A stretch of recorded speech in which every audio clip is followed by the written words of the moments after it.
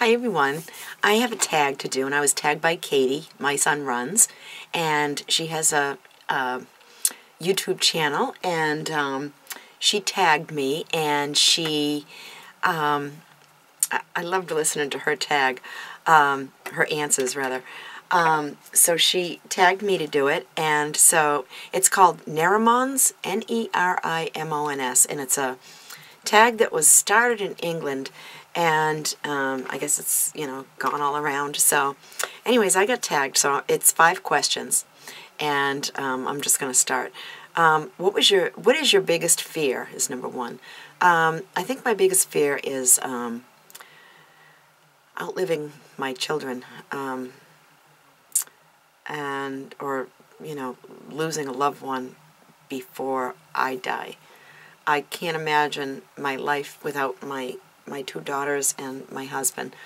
And I think that's my biggest fear that, you know, being the one left behind to feel the heartache and and and as far as my kids going before me, I just pray that it never happens. I just that's my biggest fear. You know, I just as a mother, I think that you know every mother probably feels that way. Um, number two, um, how did you know Santa wasn't real? Um, my brother, my older brother told me one Christmas Eve when my parents had the fireplace going and I was crying and saying, you know, Santa's not going to come to our house. He'll see the smoke coming out of the chimney and, and he's just going to, you know, go right over. He'll go to the next house and give them our toys. And looking back, I was a selfish little thing at the time. I wanted all the toys to myself. But um, anyways, my brother saw that I was crying and when we my, our parents sent us up to bed. He came in my room and he says, I just want to let you know, Mara and Dad are the uh, Santa Claus. They've been buying all the presents every year. And of course, that made me cry even more because, you know, no Santa. Um, God, back then I used to pray to him for gifts, you know, tell him what I wanted, you know. Um, let's see, number three, what is the best idea I ever had? Um, I think the best idea I ever had was to have children. Um, and I mean, it, it doesn't sound very original, but to me, it's the best thing that ever happened to me.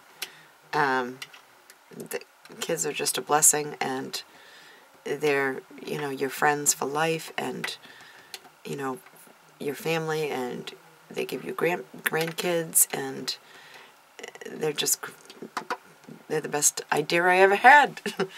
um, number four is what is the most embarrassing thing your parents ever did?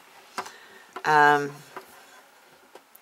that has to be one time when I skipped school and the school called my mom and said, you know, Colleen isn't in school today. Is she sick? And she said, oh, well, she left the house this morning um, and she's not here.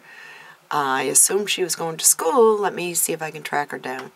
So it was senior skip day. I was a junior at the time, but my boyfriend at the time, who later became my husband, was a senior. And um, so we all skipped school over at his house because his parents both worked during the day. And a bunch of kids were over there. We were just kind of like listening to music and, you know, just hanging around. And, you know, we weren't doing anything wrong or anything, but um, she called over there, and um, his aunt answered the phone, who lived with them, and my mother says, uh, "Is Colleen there?" And and his aunt says, "Yeah, just just a minute." And so I get on the phone, and my mother says, "You better get your butt home here right now. The school called, and you know, if you don't come home here, if you don't have him drive you home, I'm going to send the truant officer over there and get you." And and I don't even know if they have truant offices anymore. Um, but um, nobody wanted to mess with the truant officer. Um, so, anyways, um, I remember going home and I walked in the house and she says, get your stuff and you're going to school.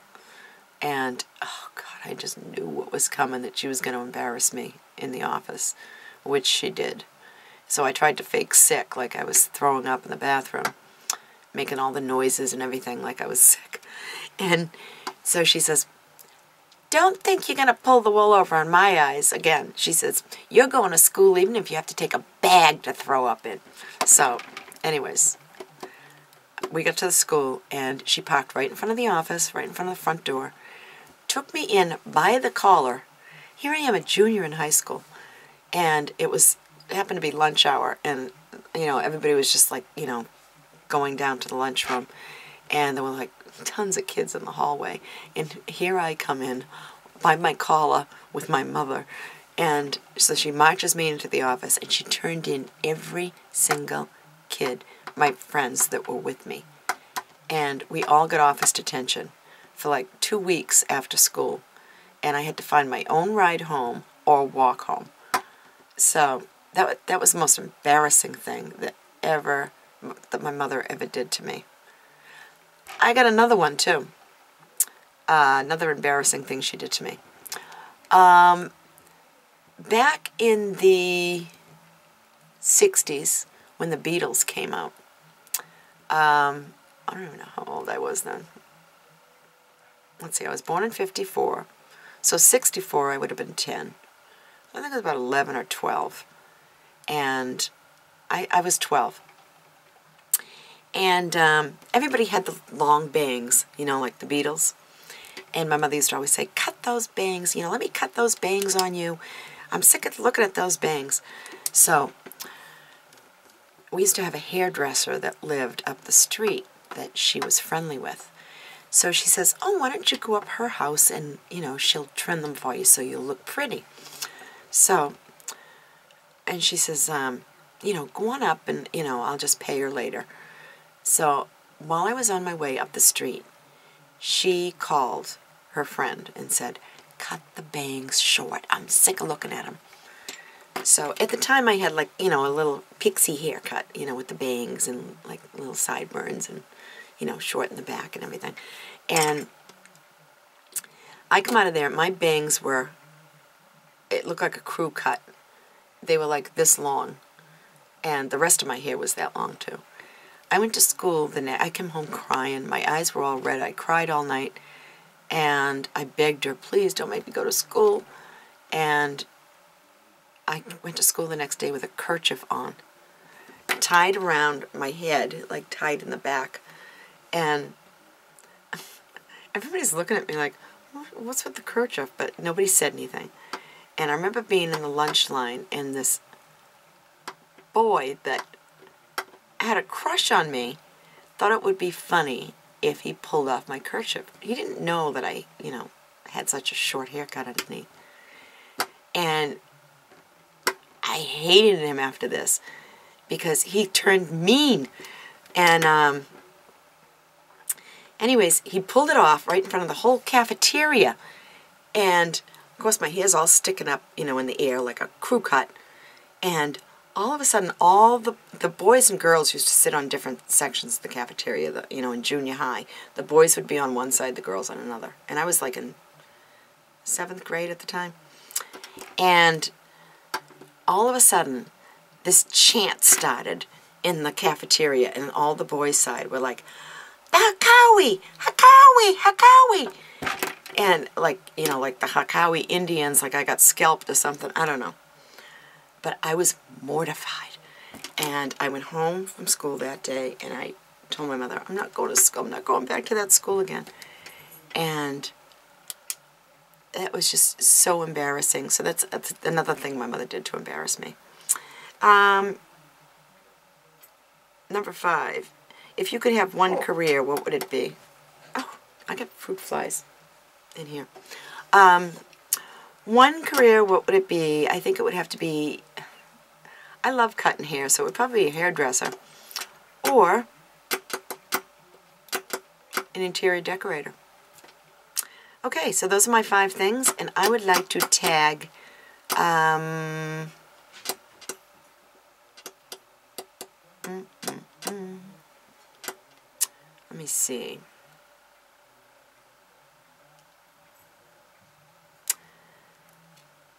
I think I'll tag Christine and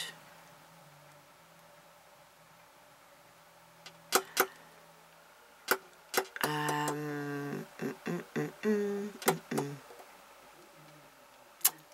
let's see.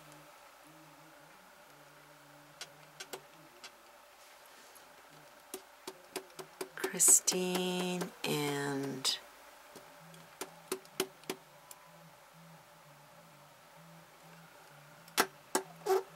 this is a tough one.